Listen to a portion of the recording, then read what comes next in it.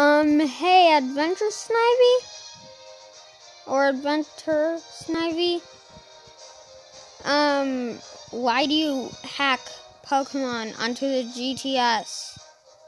You hack so many Pokemon onto the GTS.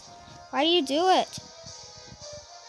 Anyway, if you see this video, why do you hack Pokemon onto the GTS? Like, let's look at Genesect over here. By them. Them.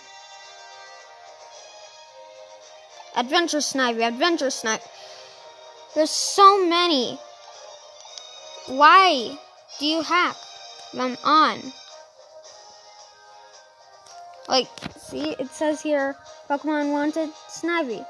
Gender Pokemon Wanted. Level